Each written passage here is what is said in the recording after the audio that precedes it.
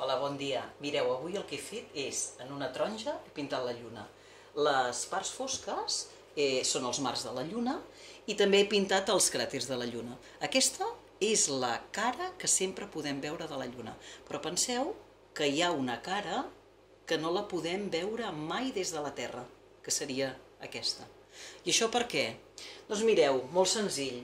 La Terra, la Lluna, dona una volta a la Terra cada 28 dies, però és que triga al mateix temps, 28 dies, la Lluna en fer una volta sobre ella mateixa, una rotació.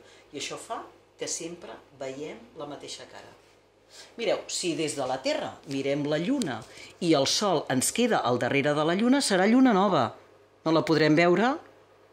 Continuem, fem passar 7 dies, ara sí que ja veiem una part il·luminada de la, de la lluna, però sempre veiem la mateixa cara, lluna plena, la veiem tota il·luminada, 21 dies, ara veiem sempre la mateixa cara, però el cantó esquerre de la lluna, i acabem el cicle de la lluna allà on havíem començat, han passat ja 28 dies i han fet tota una fase de la lluna.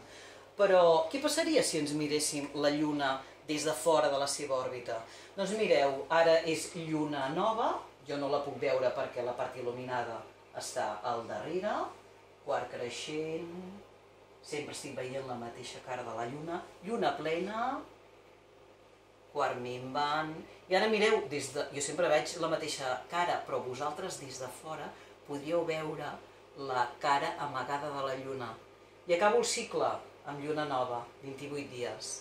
I bé, això potser ho podeu fer a casa, o pintant una taronja o una poma. Vinga, ens veiem demà. Adéu.